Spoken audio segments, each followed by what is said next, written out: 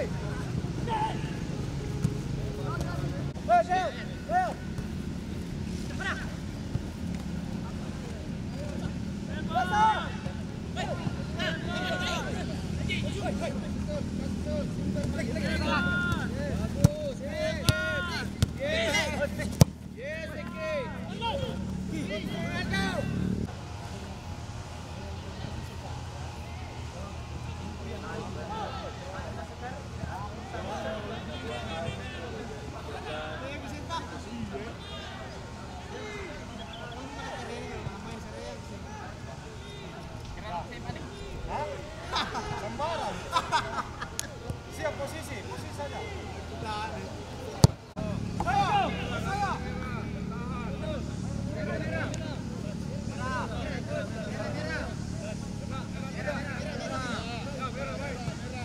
Terima kasih. Assalamualaikum warahmatullahi wabarakatuh.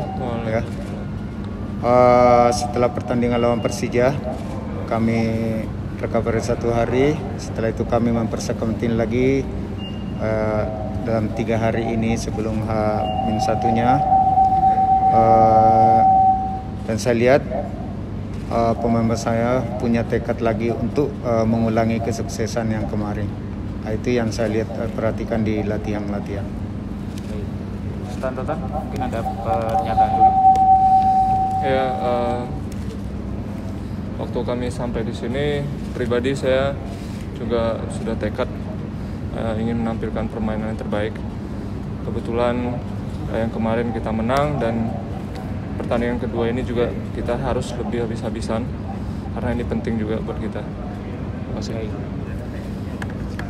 Uh, sampai sekarang uh, belum. Nanti kita lihat besok kesiapannya anak masih ada satu hari ini kita lihat apa uh, ada memang yang bermasalah ya.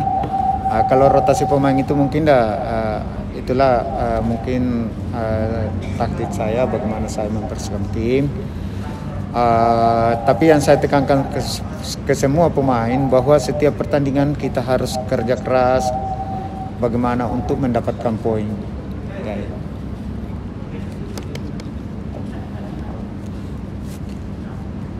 uh, ini kan sudah terbiasa kita masalah rasis di mana-mana ya. Sebagai pemain profesional itulah resikonya. Uh, tapi kan uh, saya juga uh, apa namanya menyayangkan sikap-sikap orang yang yang terlalu apa namanya uh, uh,